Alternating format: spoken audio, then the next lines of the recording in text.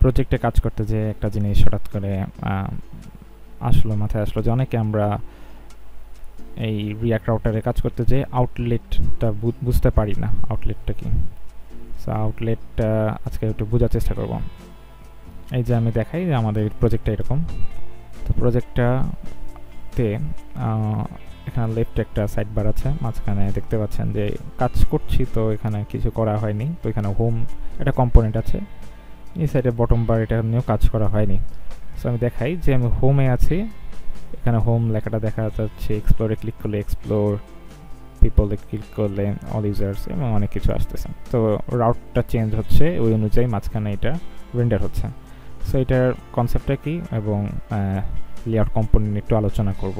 কারণ এটা অনেকেই কনফিউজ হয়ে যায় যেটা কীভাবে কাজ করে মানে থিঙ্ক করতে হয়, আসলে যে কীভাবে জিনিসটাকে সাজিয়ে রাখতে হয়। সরি আমি লেআউট কম্পোনেন্টটা নিয়ে যদি আলোচনা করি লেআউট কম্পোনেন্ট আমরা যখন একটা প্রজেক্টে কাজ করি, যখন আমরা একটা প্রজেক্টে কাজ করি, তখন আমাদেরকে ভাবতে হয় যে আমাদের কোন জিনিসগুলো ফিক্সড আছে।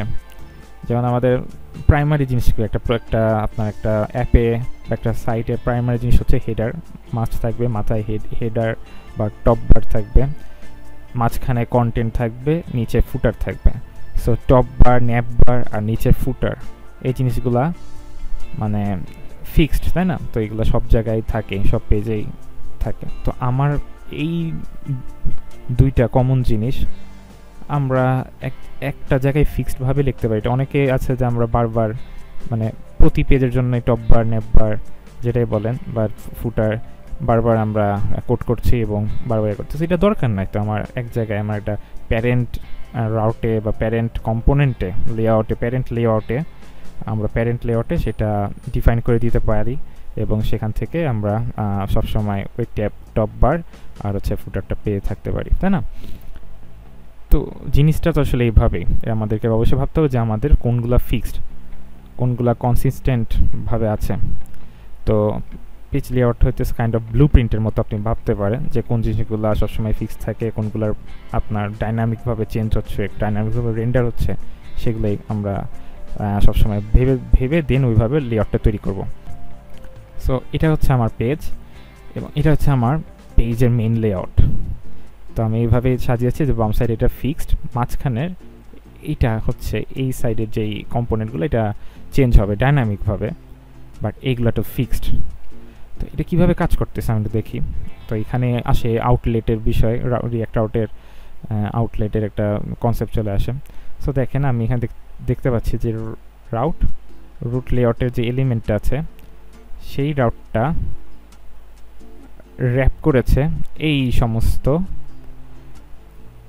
রাউট এলিমেন্টসগুলোকে তাই না? এখানে অনেকগুলো আছে হোম আছে এক্সপ্লোর আছে সেভড বিভিন্ন অল ইউজার্সের বিভিন্ন কম্পোনেন্টগুলো আছে। সো এগুলা, এই কম্পোনেন্টসের রাউটগুলোকে এই মেইন প্যারেন্ট রাউট যেটা আমার মেইন এই অ্যাপের মেইন রাউট যেটা, সেটাকে র্যাপ করেছে। তো এর ভিতরে রাউটগুলো সব আছে। তো যেহেতু প্যারেন্ট রাউট র্যাপ করেছে চাইল্ড রাউটগুলা কীভাবে রেন্ডার হচ্ছে, তাই না? তো প্যারেন্ট রাউটের এলিমেন্টটা আমি একটু যাই দেখাই। প্যারেন্ট রাউটের এলিমেন্ট হচ্ছে রুট লেআউট ক্লিক করলাম। দেখেন টপ বার টপ বারটা আসলে আমি একটা কন্ডিশনের জন্য এই স্ক্রিনে সেটা হাইট করা আছে। যদি একটা স্ক্রিন সাইজ পর্যন্ত যায়, তাহলে সেটা শো করবে। সো এটা নিয়ে কথা নাই বলি। লেফট সাইড বারে যে জিনিসটা, সেটা হচ্ছে লেফট সাইড বারে যা লেফট সাইড বার আমরা দেখতে পাচ্ছি, এটাই।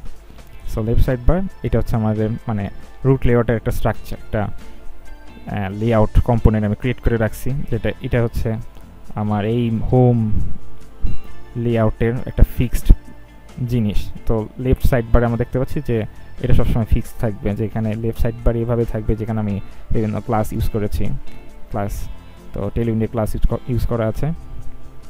দেন দেখতে পাচ্ছি যে মাঝখানে একটা সেকশন আছে, যেখানে আউটলেট নামে একটা রিয়াক্ট আউটারের একটা কনসেপ্ট ইউজ করেছি না? মাঝখানে সেকশনের ভিতরে আউটলেট ইউজ করেছে। তো রিয়াক্ট আউটার একটা জিনিস, একটা রিয়াক্ট আউটার একটা বিষয়। আউটলেটটা আসলে কী কাজ করতেছে? আউটলেটটাই হচ্ছে আপনার এই যে, আমরা আউটলেটটার কাজটাই হচ্ছে এই যে হোমে ক্লিক করতেছি এক্সপ্লোর পিপল ক্লিক করতেছি, এই যে মাঝখানে যে এই আপনার যে জিনিসগুলো রেন্ডার হচ্ছে রি রেন্ডার হচ্ছে, আমরা ক্লিক করতেছি, এক একটা রাউটে যাচ্ছি, সেটাই এই আউটলেটটাই এই কাজটা করতেছে। এর মধ্যে অর্থাৎ আমরা প্যারেন্ট যে রাউট ছিল, সে র্যাপ করেছে চাইল্ড রাউট কম্পোনেন্টগুলো র্যাপ করেছে। চাইল্ড রাউট অর্থাৎ প্যারেন্ট রাউটের ভিতরে যে সমস্ত রাউটগুলো থাকবে রাউটের কম্পোনেন্টগুলো থাকবে সেগুলা শো করার জন্য, সেগুলাকে দেখানোর জন্য আপনাকে সেই লেআউটে অবশ্যই আপনাকে আউটলেটটা ইউজ করতে হবে। যদি আউটলেট ইউজ করেন তাহলে সেটাই আপনি এখানে শো অবস্থায় মানে ক্লিক করলে দেখতে পারবেন। সে সোজা কথা, আপনার প্যারেন্ট রাউটের ভিতরে যে সমস্ত চাইল্ড রাউটগুলো থাকবে র্যাপিং অবস্থায় থাকবে, সেই চাইল্ড রাউটগুলোকে শো করতে হলে আপনাকে আউটলেট ইউজ করতে হবে।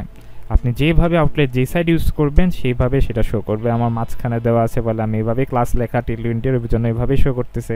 আপনি আপনার অ্যাপ্লিকেশনে যেরকম ডিজাইন করেছেন, যেভাবে লেয়ারটাকে থিঙ্ক করতেছেন, সেইভাবে আপনি করলে সেইভাবেই আউটলেটটা শো করবে। আউটলেটটা এইভাবেই রিয়াক্ট আউটে কাজ করে। সো থ্যাংক ইউ আজকে এই বিষয়টা, এখানে অনেকেই এই জিনিসটা নিয়ে অনেকেই কনফিউজ থাকে আউটলেটটা আসলে কীভাবে কাজ করে। এটা চাইল্ডের একটা বিষয় আছে প্যারেন্ট চাইল্ড প্যারেন্টের ভিতরে চাইল্ডের যে সমস্ত কম্পোনেন্টগুলো থাকবে সেটাই ওইভাবে শো করে। তো এইগুলো নিয়ে অনেক কনফিউশন থাকে বলে আজকে আমি, আজকে এই বিষয় নিয়ে আমি ডিসকাস করলাম। আশা করি আপনারা জিনিসটা বুঝেছেন। ধন্যবাদ।